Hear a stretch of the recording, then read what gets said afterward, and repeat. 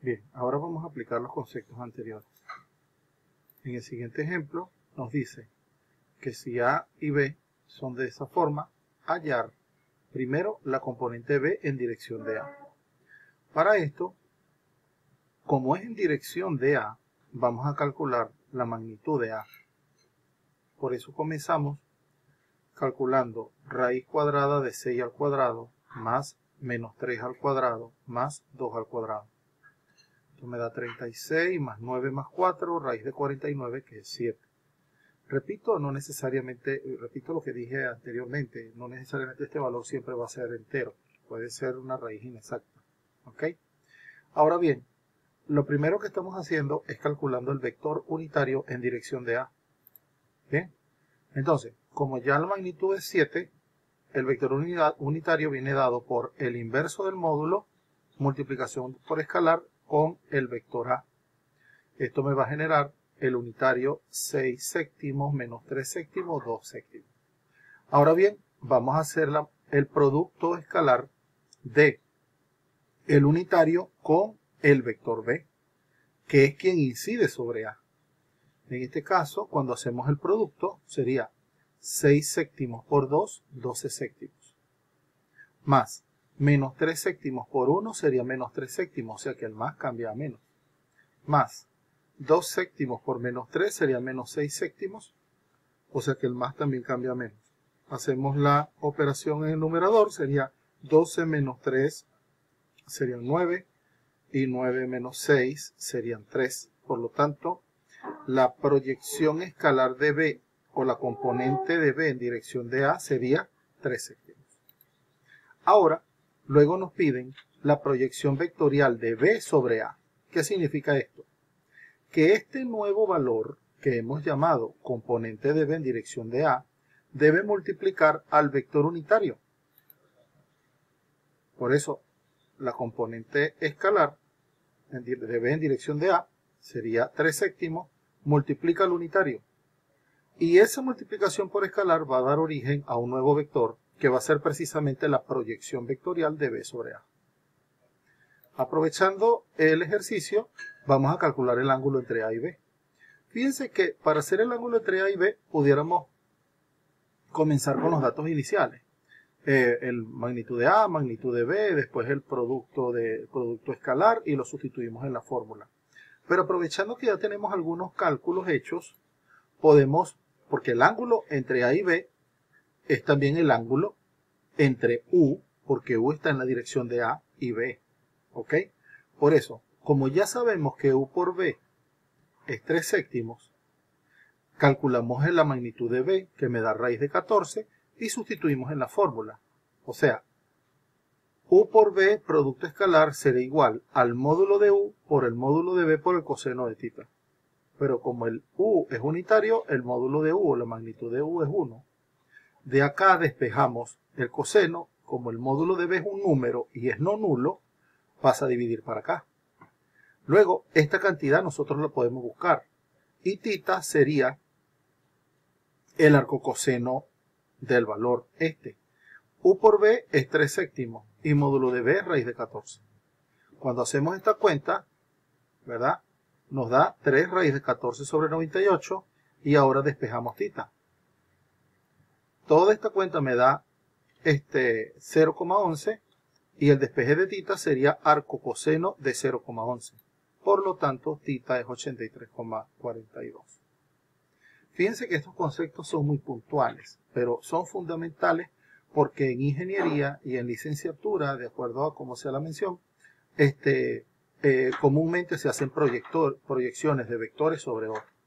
Un ejercicio interesante sería que buscaran la componente de A en dirección de B y que buscaran la proyección vectorial de A en B. ¿Ok? Ahora, vamos a ir, eh, fíjense que estamos haciendo una construcción análoga a, lo que veíamos en, en, los vectores en R2. Ahora, en estos vectores en R3 decimos que dos vectores, aunque este concepto es general, dos vectores son paralelos si uno es múltiplo escalar del otro. ¿Ok? Es decir, si yo tengo dos vectores y uno de ellos surge de multiplicar un escalar por el otro, entonces decimos que son múltiplos escalares. dos vectores son perpendiculares o ortogonales, en álgebra se habla de ortogonalidad, si su producto escalar es igual a cero. ¿Ok?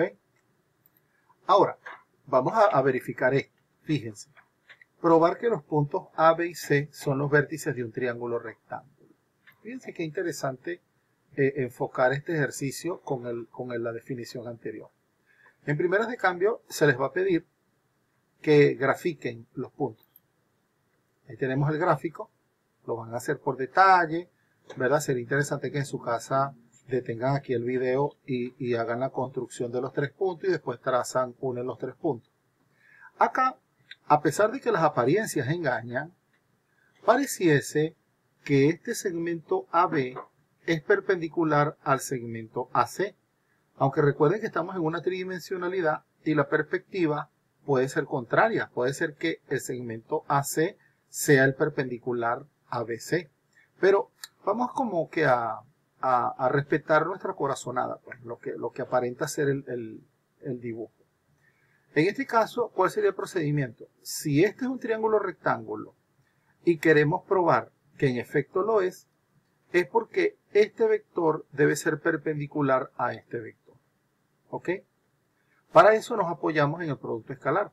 Pero lo primero que vamos a hacer es determinar el vector AB y, determinar el vector AC. Eso es lo que vamos a hacer a continuación. El vector AB, ¿ok? Es el que inicia en A y finaliza en B. Entonces sería de la forma B menos A. Por eso colocamos las componentes de B menos las componentes de A. Al hacer los cálculos, esta resultante representa el vector AB. Análogamente, el vector AC es el que tiene inicio en A, finalización en C.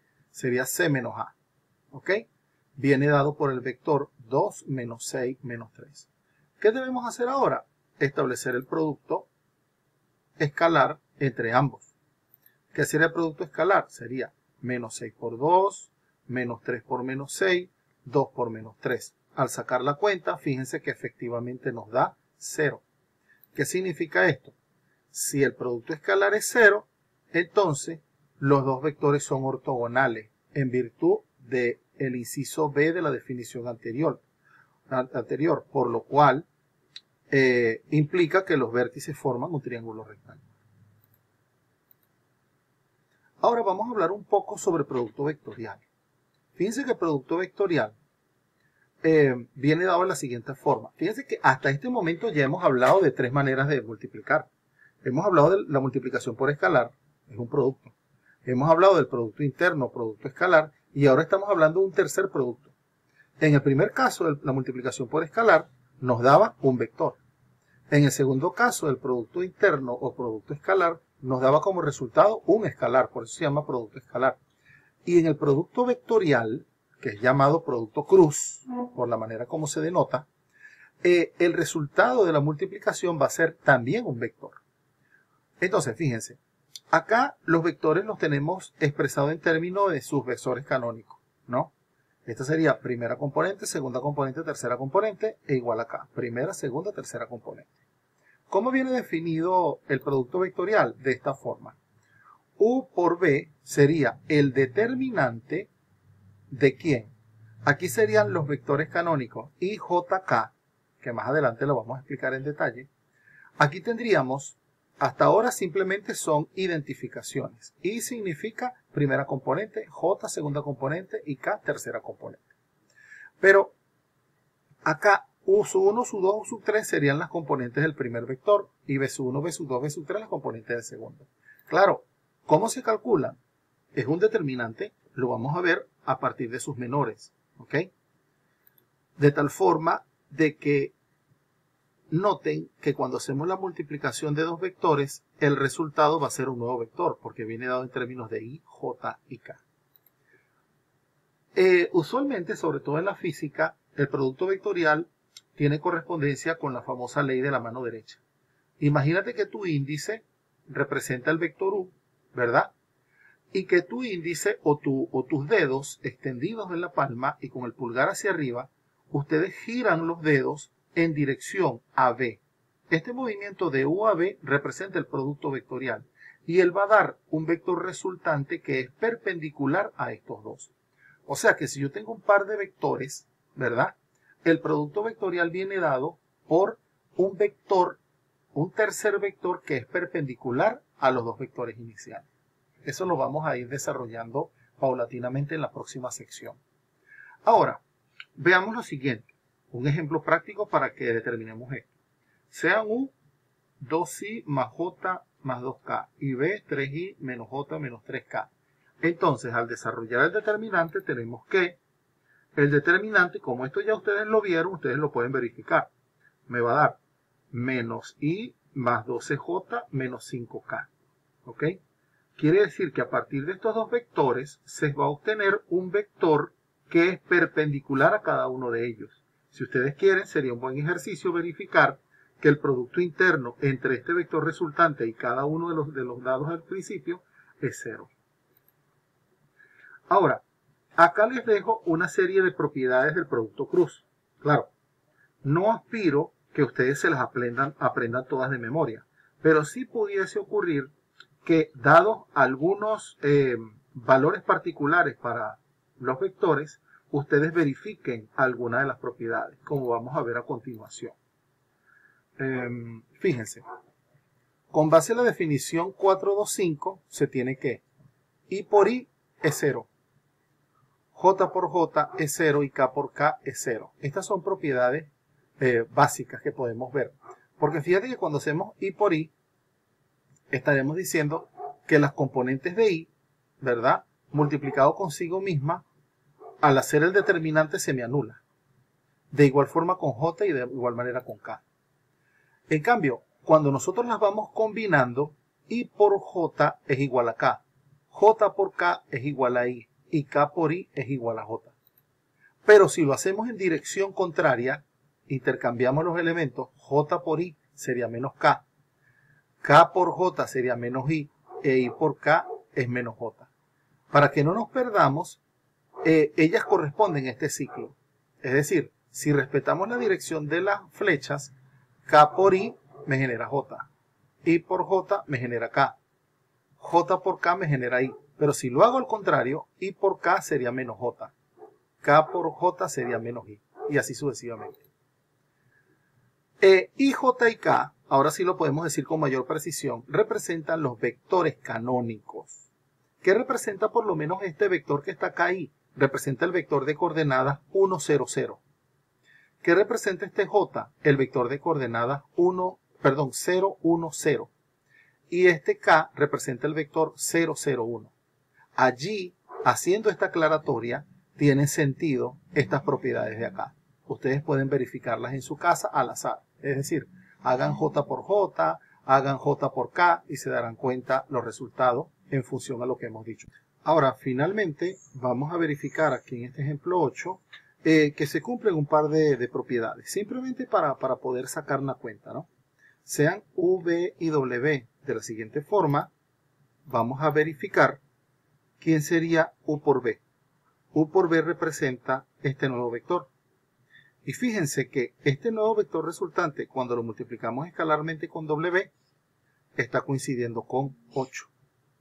Paralelamente, si nosotros ahora hacemos B por W obtenemos este resultante y cuando lo multiplicamos escalarmente por U, obtenemos este. O sea, estamos verificando que U por B, Producto Interno W, es equivalente a U, Producto Interno del producto vectorial B por W.